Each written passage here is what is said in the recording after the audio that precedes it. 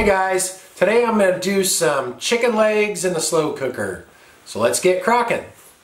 I've got some Rosie, the organic chicken legs here. Um, these are marked down. These are $4 off, so I got these for $1.63. They would have been $5.63 normally. They're normally $3.99 a pound. I usually don't buy uh, organic chicken very often for that reason because it's expensive.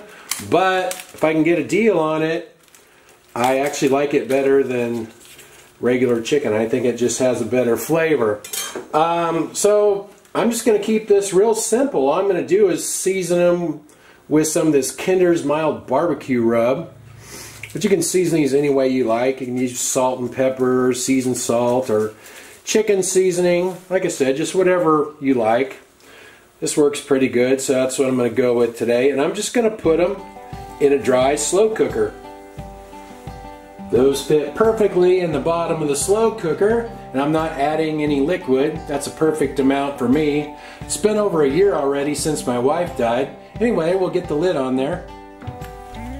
Now I'm going to cook these for two hours on high. This cooked on high for two hours and it's been in the pot on warm for another half an hour. So let's take the lid off and see how it looks. That looks pretty good to me. Let me grab a plate and we'll try it out. All right, let's see how these look. The chicken usually comes out nice and juicy, but the skin usually doesn't get crispy. So that's usually the only bad thing about slow cooker chicken. But you can see it's real tender and it's juicy just falling off the bone there. So um, let me try a bite.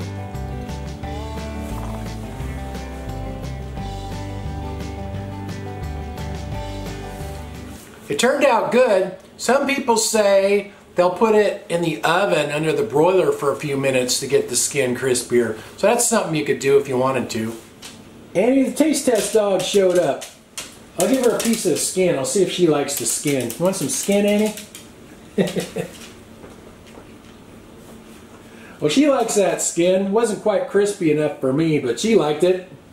So that cooked for two hours on high, and I think that was just about right. But if you use more chicken, like if you fill the pot up, you might have to add an extra hour cooking time. Or if you use frozen chicken, I've done that a few times as well and that works good but you usually have to add an extra hour for that as well. But um, I have done the frozen chicken and that does work out pretty good too.